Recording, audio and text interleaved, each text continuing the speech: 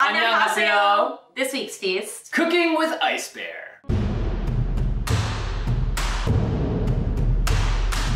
Welcome to Cooking with Ice Bear. Today, we're making jeon, a traditional Korean ceremony dish. Feast of Fiction fans like to party, so let's party hard with this delicious meal. Time to shave your grizz sweet potato. That is totally me. oh. Ouch, that looks like it hurt. Cut this potato into a square and use a mandolin to make cute square cuts. Hey, this zucchini looks like Charlie. Ice Bear knows no mercy. Ice Bear will prepare potato jeon first. After peeling and boiling your potatoes, mash them up in a mixing bowl. Add some flour, an egg, salt, and pepper, thoroughly mix together. Next, form small cakes in your hand. Smushy. Ice Bear likes smushy. Let's prepare our flour and egg mixtures for frying. Combine flour, cornstarch, and salt in a bowl. Mix together.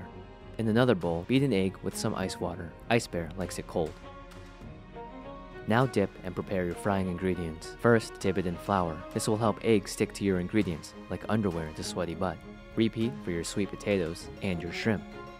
Next, add some oil and begin frying each side. What a sound. What a thrill. Continue to do so for all of your ingredients. Be careful, Ice Bear knows that oil is hot and can hurt if it pops. Shrimp will let you know they're done cooking when they turn a bright orange color. That's it, voila, Korean jeon with Feast of Fiction. Line them up and marvel at how wonderful it all looks together.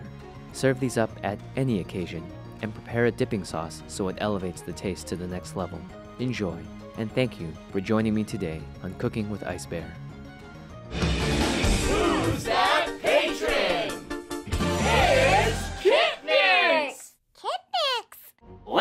Eat. I'm gonna start off with a sweet dip. And I got a zook. A zook. Ooh, the deep dip. Oh my gosh, the full dip. Mmm. Mm. Chewy, light, delicious. The thing I'm looking forward to most though, freaking potato cakes. Oh yeah. Oh yeah, that is good. Now, the shrimp. Mmm. That is some fresh shrimp. Yeah? Mm-hmm. It looked beautiful. The pieces of shrimp were beautiful and plump. Mm-hmm. And then you saw they turned pink. Mm. Cooked. They just looked very luscious. This is so much fun. This is Mine's- really a lot of fun. Minus the part where you will potentially get some hot oil burns on yourself if you're not careful. So please, if you make this at home, have a parent supervise you. Yep. Wear an apron, long sleeves is good Mhm. if you're cooking with hot oil. Goggles. You gotta say thank you in Korean? How's that? Kamsamida. What else do you uh, know in Korean? Annyeonghaseyo, which is like hello. I think it also might mean thank you. What does it mean? Annyeonghaseyo. Annyeonghaseyo. So this was good. I mean, a little too fried for me, if we're gonna be honest. Well, you have a child to take care of. You need to make sure you're living a healthier lifestyle. Me, on the other hand, He's gonna let it all go to shit.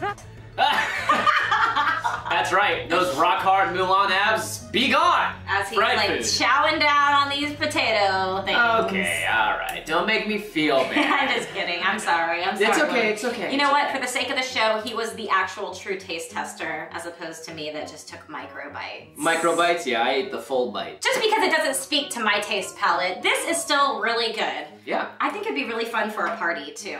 Yeah, I mean, also just like this is very a very traditional, I believe, Korean dish that's lightly fried, almost like tempura, if you know Japanese food. Mm-hmm. Now it's something that's taken off in Asia that used to never be big there. Che- cheese. Cheese. Yeah, cheese used to not really be a big part of the diet in uh, Asian cultures because there's just not that much dairy out there. Okay. You see it a lot in Korean barbecue.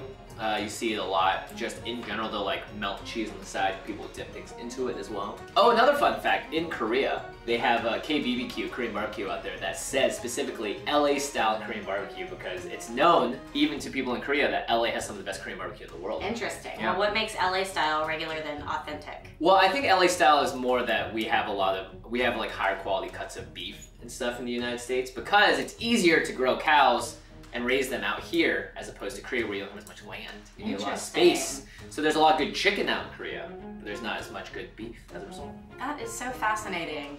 Thank you for sharing all of that wealth of information Anytime. to us. I got I know you. that it was very interesting and fascinating, I'm sure, to you guys as well. And if you want to learn more about cooking, food, and all that stuff, you should probably subscribe to the channel. Hit the little notification bell if it's your first time here. Yeah. Or you can join us over at patreon.com slash feast of fiction, who are our most ardent and cool supporters ever. I talk to them on Discord every day. Come join our food chats. That's right. Some of our our friends out there are sharing foods or memes, pictures from the internet, or talking about their new diet plans that they're on as well. So that's great. I love helping everyone out and just hearing everyone's stories. We sure do.